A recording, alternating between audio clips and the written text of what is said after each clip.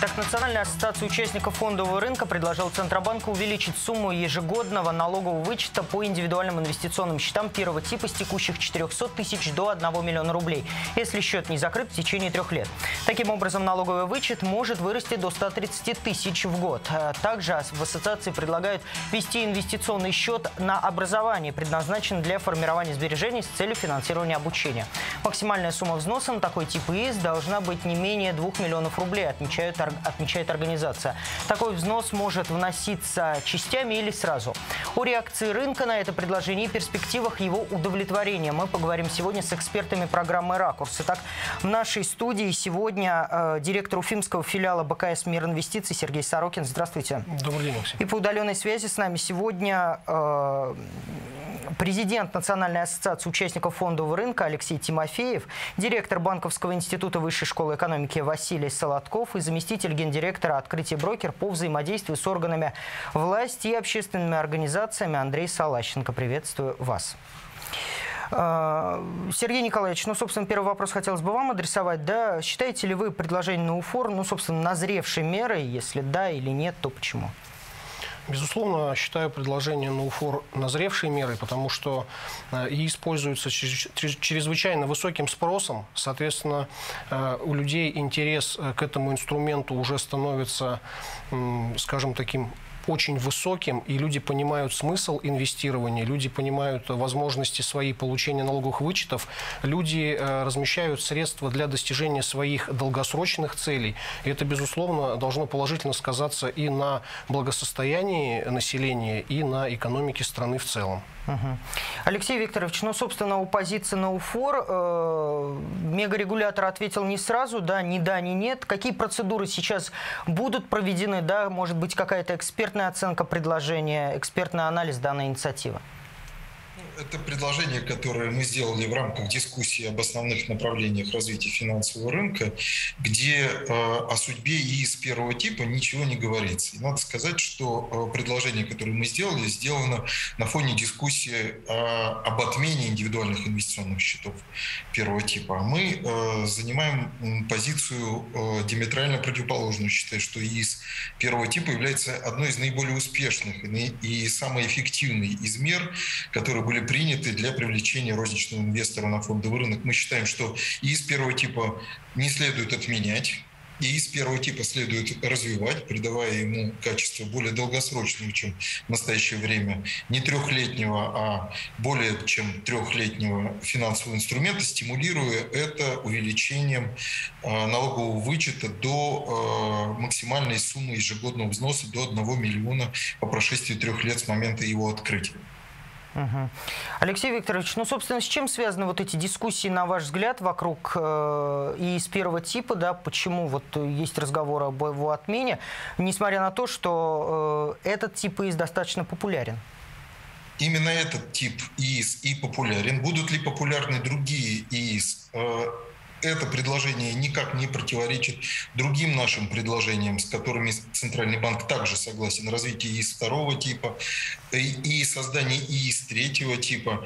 Так вот, на наш взгляд, этот ИИС э, наиболее популярен и, своя, и свою популярность доказал. Будут ли популярны другие ИИС, мы пока не знаем. И уж точно нам не следует отказываться от этого популярного, эффективного э, вида индивидуальных инвестиционных счетов до тех пор, пока другие э, виды индивидуальных инвестиционных счетов свою популярность не докажут. Дискуссия об ИИС первого типа, его судьбе, идет в связи э, с э, концепцией ИИС третьего типа, где э, предполагается аналогично в виде инвестиционного вычета с возвратом или исключением из налогообложения подоходным налогом взноса, что задевает региональные бюджеты. Я нашу дискуссию с Центральным банком э, и с Министерством фи- финансов, в первую очередь, который беспокоится о региональных бюджетах, это понятно. Вижу, как попытку, может быть, разделить э, общую сумму взносов из первого типа и из третьего типа. Таким образом, это позволит, не отказываясь от ИИС первого типа, ввести также ИИС третьего типа. Ну, собственно, вот о беспокойстве за э, бюджеты разных уровней, да, хотелось бы вот, обратиться к Василию Михайловичу. Василий Михайлович, вот увеличение лимита, насколько серьезная нагрузка на бюджеты, да, на ваш взгляд, вытянет ли э, такие обязательства, ну, вот в случае удовлетворения предложений на УФОР государства? Понимаете, в чем дело? Если брать э, российский государственный бюджет, у нас порядка трети Э, тратится на силовую структуру. И я думаю, что э, здесь есть э, существенные резервы по сокращению этой доли. А те деньги, о которых мы с вами говорим, то есть вот, которые могут выпасть из доходов, они в этой структуре ну, представляют из себя, по сути дела, сущие копейки. Их никто и появление, наверное, по большому счету не заметил, и исчезновение никто не заметит. А, вещь это важная и серьезная, потому что а, в настоящий момент а, мы по сути не имеем возможности для сбережения средств. Мы видим, чем обернулась пенсионная реформа, которая по факту закончилась продлением пенсионного возраста без какой бы то ни было компенсации мы видим, что э, вклады по э, банковским вкладам, они находятся либо в пределах нуля, либо э, отрицательная реальная процентная ставка, если мы берем рублевые вклады. И поэтому мы должны предоставлять нашим гражданам возможности для инвестирования. И вот индивидуальные инвестиционные счета являются одним из таких вариантов.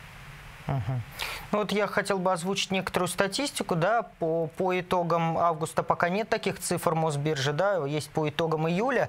Вот э, Москва занимает лидирующие позиции по количеству ИИС 449 тысяч, э, Московская область 252 тысячи, ну вот Республика Башкортостан 136 тысяч, мы в топ-5 регионов по количеству открытых индивидуальных инвестиционных счетов. Ну вот Сергей Николаевич, э, как вы оцениваете активность именно жителей республики, э, собственно, в открытии индивидуальных инвестиционных счетов? Да, какие типы предпочитают э, жители республики, ну и непосредственно клиенты э, вашей компании?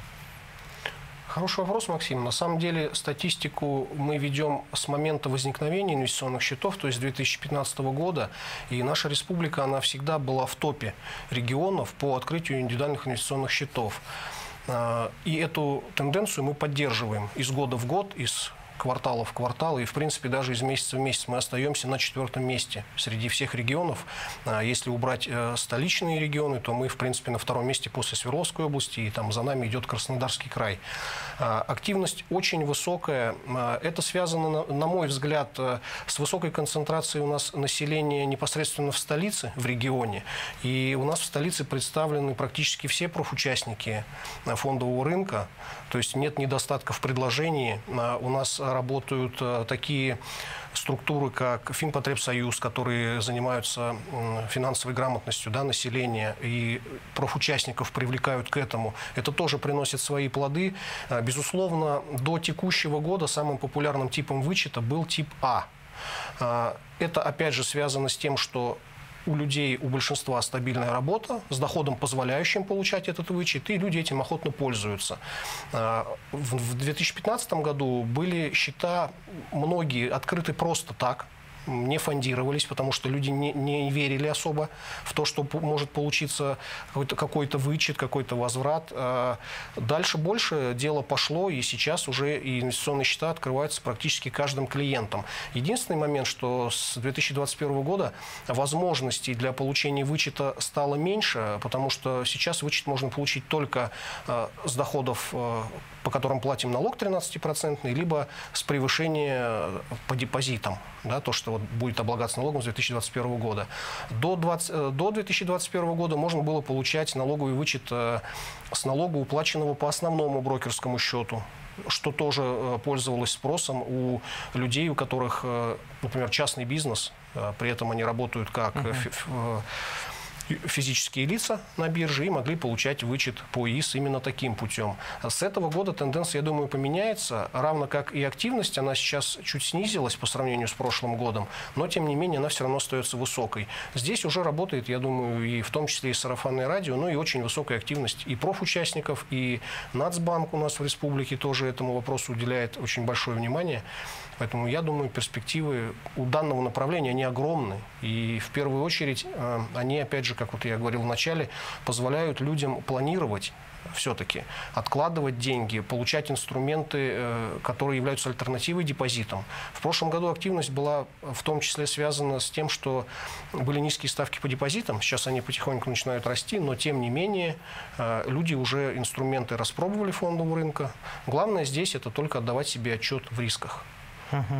Ну, вот об этом хотелось бы поговорить. Да, Андрей Алексеевич, э, наблюдаете ли вы тенденцию, так скажем, потери интереса классическим вкладам в банках? Да? Э, вот, э, не забирают ли активно люди деньги с банков, с классических вкладов, да, чтобы э, перейти ну, в более рискованные инструменты, да, в в частности? Мне очень интересно, э, во-первых, добрый день, коллеги, э, очень интересной дискуссией. Вообще, вот интересная постановка вопроса, когда я слышу фразу «более рискованные инструменты», в том числе и ИС. А на самом деле мы провели анализ наших клиентов и того, как они инвестируют. Очень, очень любопытная статистика. На самом деле такая, которая говорит о том, что мы еще некоторые, скажем так, особенности и характеристики внутренней ИИСа даже не чувствуем. Вот вы задаете вопрос про вклады и про э, ИИС соответственно, про риски, связанные с ИИС. А я, мы сравнили ИИС с обычными брокерскими счетами, потому что люди, в принципе, они ищут в любом случае, как правильно коллега говорил, ну, в любом случае люди смотрят на реальную ситуацию. Реальная ставка у них отрицательная в банках. Что дальше? Они идут на рынок. Э, это, это на самом деле неудивительно, но факт остается фактом. Э, когда мы посмотрели на долю людей, которые имеют положительный финансовый результат на ИИСах в сравнении с долей людей, которые имеют положительный финансовый результат на брокерских счетах, мы увидели, что она различается. И различается значительно, потому что как это не... Ну, это не удивительно, это, в принципе, в общем, такое очень хорошее, интересное наблюдение. ИИС сам по себе в том числе стимулирует человека к тому, чтобы выбирать, я не буду говорить слово более консервативный, но в его понимании более надежные инструменты. И в конечном итоге он не готов замещать вклады чем-то сверхрискованным. Он готов заместить вклады тем, во что он верит и в чем есть определенная надежность. И как показывают на самом деле последние, вот все результаты инвестирования, в общем-то, ИИС эту функцию действительно выполняет и выполняет неплохо. И если мы говорим о том, там, и из первого уровня, или из второго уровня, и тот, и тот выполняет. Просто сегодня действительно экономики физически вы из второго уровня не так много, а экономика из первого уровня действительно существует. Вот. Поэтому ответ на ваш вопрос – точно люди, которые приносят деньги на рынок, они, если идут в ИИС, не бросаются во все тяжкие, э, закупают на все возможные средства с плечами акции, заходят в ПФИ и, соответственно, теряют. Нет, боже упаси, э, рынок многообразен, количество инструментов огромно.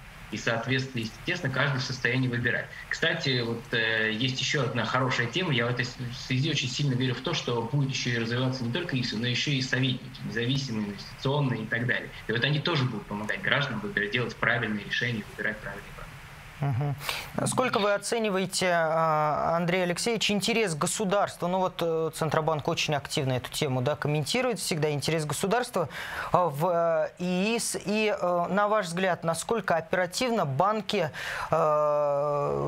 кредитные организации да, адаптировались вот к тому, что видно, что снижается, так скажем, количество и объем денег на классических вкладах, да, насколько активно они адаптировались, насколько быстро они создали вот эти вот возможные инструменты для открытия ИС на своих площадках?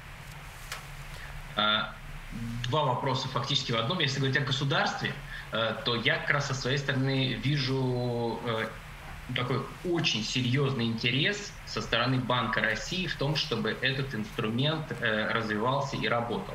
Минфин, э, он на самом деле, несмотря на то, что мы должны вроде бы ожидать от них ситуации, когда бюджет, налоги, надо за это обязательно бороться, они, безусловно, за это борются и за этим, за этим внимательно наблюдают, но я вижу, как они смотрят, и я своими глазами видел расчеты, о том, каков эффект для экономики от средств, которые люди будут приносить и при, приносят сейчас. Ну, сейчас, да, раз, э, история развивается, но будут в дальнейшем приносить и аккумулировать на ИС.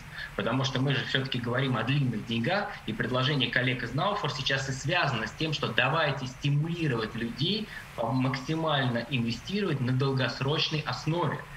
И это, на самом деле, хорошая вещь. Не так давно у нас была встреча с коллегами из Банка России, и э, Владимир Викторович Чистютин сказал очень хорошую вещь. Он, когда в очередной раз обсудили НПФ, он сказал, э, хватит рассматривать НПФ как ресурс, некий бесплатный ресурс для развития экономики и так далее. В чем-то он прав. Там надежность, может быть, даже сверхважна. А здесь мы имеем ресурс, который, может быть, как раз и надо рассматривать как тот самый инструмент для развития экономики. А если мы говорим о том, как быстро адаптировать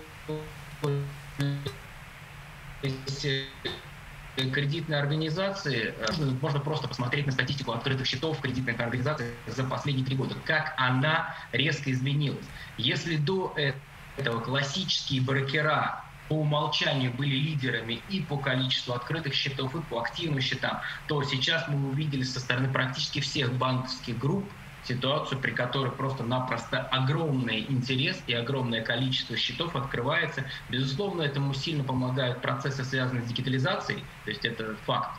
И это, конечно, очевидно, повлияло очень сильно и на все модели. Поэтому ответ на ваш вопрос, э, адаптация произошла, происходит, и это идет очень быстрым темпом. Сергей Николаевич, ну вот интересно было бы узнать, вот э, такая возможность для стимулирования долгосрочного, так скажем, использования индивидуального инвестиционного счета, вот все-таки зачастую наши люди, ну, э, проявляют нетерпение относительно всего, да, и прежде всего относительно денег, хочется быстрых денег, да. Вот э, вы, работая, что называется, здесь на полях, да, работая с, э, с клиентами непосредственно, да, обслуживая их индивидуальные инвестиционные счета, что можете сказать, насколько они терпеливы, ждут ли, какой процент тех, кто забирает досрочно да, своих денег, не ожидая там вот этого вычета? Досрочно забирают крайне редко. Это только непредвиденные какие-то жизненные обстоятельства могут привести к такому результату.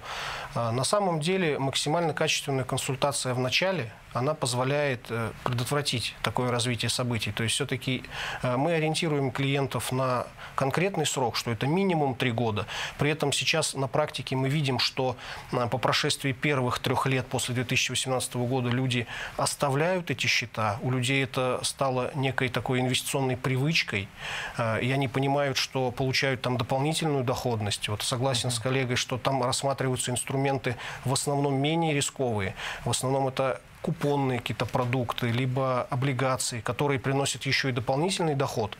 А, этот дополнительный доход э, можно и выводить, то есть не, не прямым выводом, а есть возможность определенная, чтобы дивиденды и купоны зачислялись не на инвестиционный счет, а приходили на банковский. То есть люди могут и промежуточной доходностью пользоваться. Поэтому это хорошая история, я думаю, вообще для смены нашей вот ментальности в инвестировании.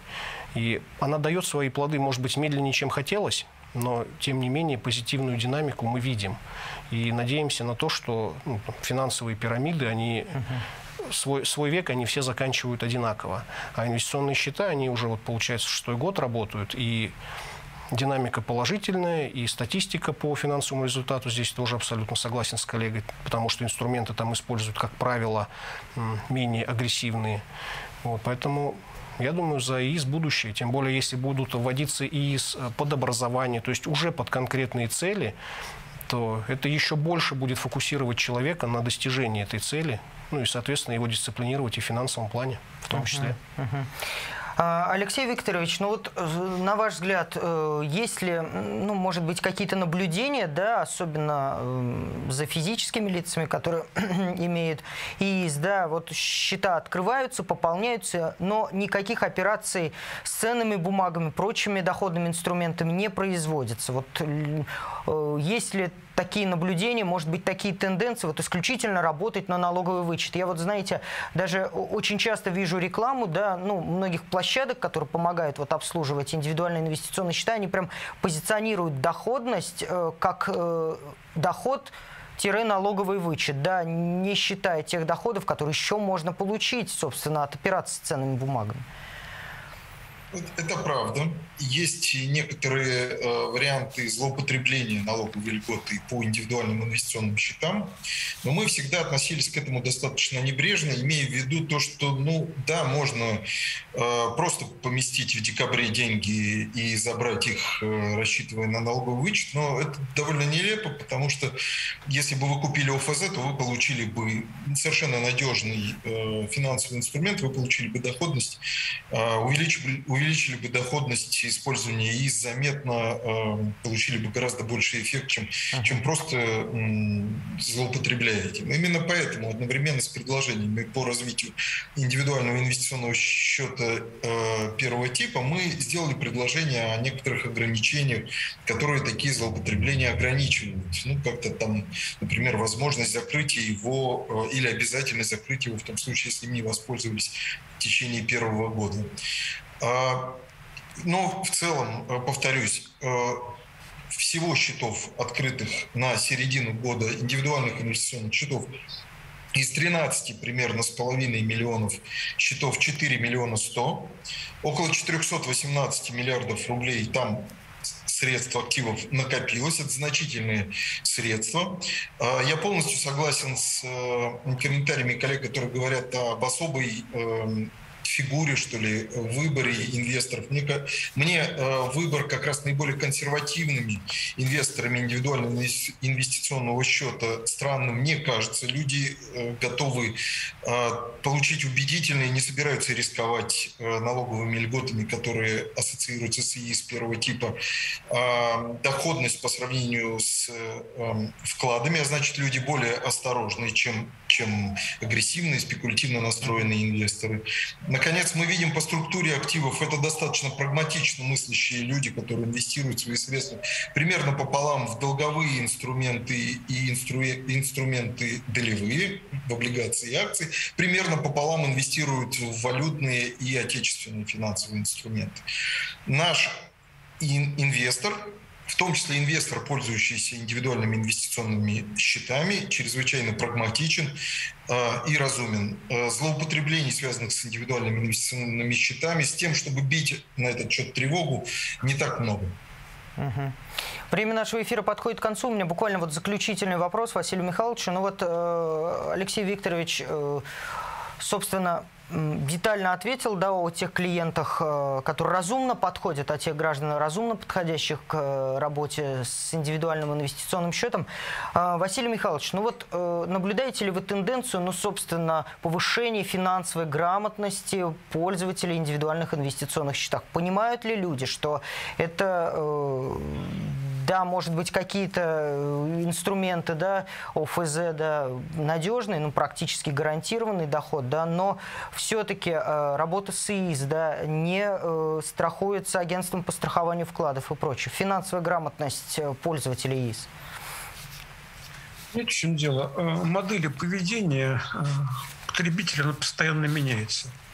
Я прекрасно помню то время, когда говорилось о том, что для банков наиболее надежным является розничное кредитование, поскольку, поскольку частый клиент, он заинтересован в том, чтобы вернуть свои деньги, чтобы сохранить хорошую кредитную историю. Мы видим, что поменялась сейчас ситуация немножко другая. А то, о чем говорят коллеги, что а, сюда приходит осторожный инвестор, видимо, это соответствует сегодняшнему дню. А, мне бы а, хотелось, чтобы эта тенденция а, сохранилась в будущем, но, как мы с вами понимаем, никто не гарантирует, что на ровно таковой останется. Это может поменяться.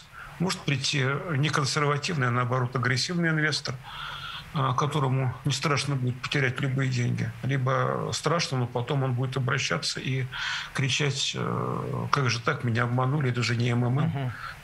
Вот. Э, понимаете, здесь возможны разные варианты. А, говорить о том, что у нас в целом растет финансовая грамотность, ну, наверное, растет. Наверное, да. Но а, при этом а, наши вот постсоветские граждане, они заинтересованы в том, чтобы э, получить как можно больше денег и э, предполагая, что при этом э, нет рисков. Поэтому мы видим, что у нас постоянно возникают самые различные финансовые пирамиды в различных направлениях. И, к сожалению, не всегда есть эффективные способы борьбы с ними, в том числе со стороны Центрального банка, который, как мы знаем, регулирует только то, что лицензировано. А то, что не лицензировано, лежит вне его сферы воздействия. Здесь должны заниматься силовые структуры, о которых мы вначале говорили. Но они, к сожалению, этим очень мало занимаются. Ну что ж, спасибо большое. Наша программа подошла к концу. Я благодарю участников за то, что были сегодня с нами, да, ответили на наши вопросы. Спасибо вам за эту профессиональную дискуссию. Удачи вам в вашей работе. Спасибо. А я напомню, что в нашей студии сегодня директор уфимского филиала БКС «Мир инвестиций» Сергей Сорокин. Э, по удаленной связи президент Национальной ассоциации участников фондового рынка Алексей Тимофеев. Э, также директор Банковского института высшей школы экономики Василий Солодков и заместитель гендиректора открытия брокер Андрей Салащенко. Мы говорили о расширении возможностей индивидуальных инвестиционных счетов в России. Оставайтесь на РБК.